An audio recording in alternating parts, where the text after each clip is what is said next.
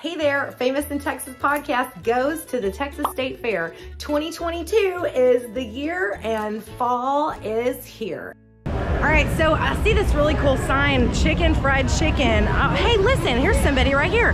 Uh, uh, is this chicken fried uh, chicken? No. No, chicken fried bacon. Should I, should I put my money into it? Well, it is good, but to me, the chicken fried uh, bacon was a little bit salty, but it was good, just depending on what stand you get it from. But when I come every year, I have to get this. This is called the German cheesesteak sandwich. It's on a pretzel bun, and it's grilled to perfection with a pickle, with a dill pickle. It got cheesesteak in it. It got, uh, I guess that's Swiss cheese or pom- uh, provolone. Yeah, I think it's. Every year. Every year Interesting. Well, she just pulled me aside and said, "Don't do the chicken Don't- fried bacon." Wait, wait, wait. Yeah,